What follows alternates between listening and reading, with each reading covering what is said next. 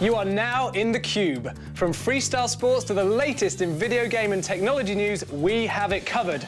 Your world from around the world in the Cube. We'll be blasting the latest tune from glam rock's bad boy Adam Lambert, sneaking a peek at the Book of Eli. Which features the beautiful Mila Kunis. True story. And then we'll catch some tasty waves with legendary surfer slash musician Donovan. We'll chow down like a ninja and see what's happening with pro skateboarders Steve Berra and Eric Koston in their super secret skate hideaway. All this right now in the Cube. Oh, and Britain's rapper, beatboxer, and producer Jay Sean is live in the studio.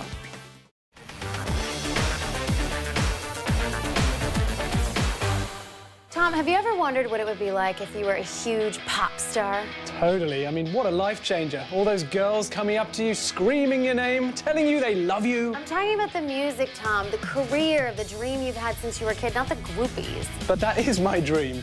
There's more to life than girls. I know you're saying words, but I can't hear. I Maybe don't... the words American Idol mean something to you. You know, one of the many offshoots of the original British mega hit Pop Idol. It's been replicated all over the world. There's Australian Idol, Latin American Idol, Indian Idol, and in the last season of American Idol, Adam Lambert was the breakout star. Let's turn him up in maximum volume.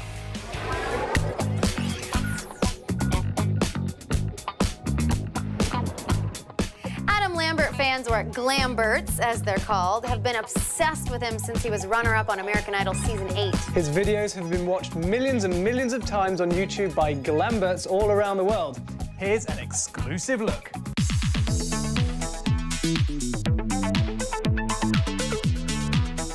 My album is really a, a, blend of old meets new, and I wanted the old rock sound, the old kind of glam influence, but I also wanted to almost sound like it was put into a space capsule and blasted off into the future, and you were listening to it through some sort of holographic MP3 player or something. So it's very important that there are elements in my music that have like a futuristic kind of touch, uh, something that hopefully will stand the test of time.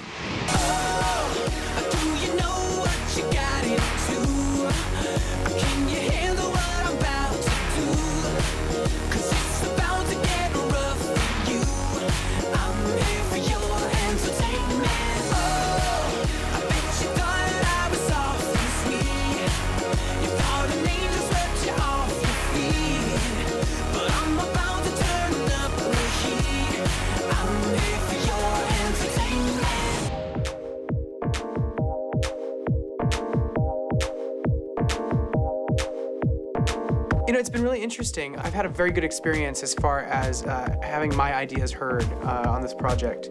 Um, I think a lot of people think that you come off American Idol and you're kind of puppeted around in this like kind of factory, and that has not been the case for me. I uh, met with my, my team early on before we produced the album, and they asked me what I wanted to do.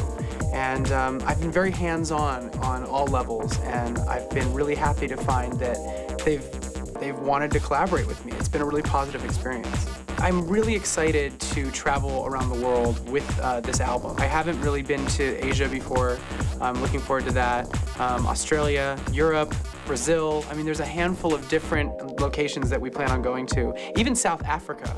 So I'm really looking forward to meeting people that represent different cultures and seeing what it's like outside of the US. I am aware that there is some anime art um, that uh, kind of could be compared to my look. Um, I didn't do that consciously. Um, it's just always, I've always kind of liked the way this all looked. But uh, recently I've seen a bunch of, of uh, YouTube videos and whatnot of some anime and I, I thought, oh wow, that looks kind of like my hair. Or I need to do my hair more like that cartoon. um, I love the style of it. I think it's beautiful and uh, the aesthetic is something that I can really identify with.